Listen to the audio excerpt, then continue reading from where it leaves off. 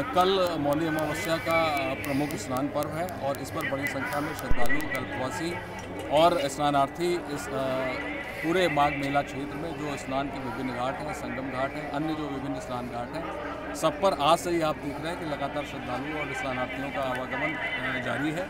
और इन सारे स्नानार्थियों के और श्रद्धालुओं का हम सुगम आवागमन और एक सुरक्षित स्नान देने के लिए माघ मेला क्षेत्र में कटिबद्ध हैं। जिसके लिए हमने पुलिस की जो हमारी विभिन्न इकाइयाँ हैं, जिसमें नागरिक पुलिस, जल पुलिस, यातायात पुलिस, घोड़सवार पुलिस, रेडियो शाखा, अग्निशमन की सेवाएँ B D D S squad senti समोटिस टीम ए टी एस के कमांडोज और लगभग 120 से अधिक कैमरे पूरे माघ मेला क्षेत्र पर व्यवस्थापित हैं, तैनात हैं।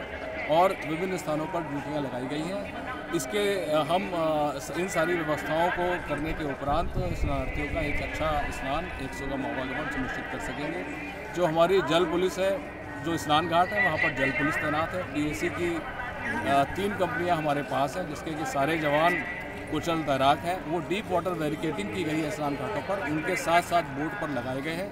जिससे किसी प्रकार आकस्मिकता की स्थिति में वो प्रतिक्रिया कर सकें और किसी प्रकार डूबने आदि की कोई घटना घटित ना हो और घटित हो तो वो तत्काल प्रतिक्रिया कर। सर भीड़ बढ़ेगी उसको कैसे कंट्रोल करेंगे? देखिए भीड़ के लिए भीड़ हम उसको नहीं कहते हम श्रद्धालु और स्नानार्थियों को हम ये कहते हैं अगर उनकी संख्या अधिक होती है तो उसके लिए हम लोगों का एक ट्रैफ़िक प्लान है।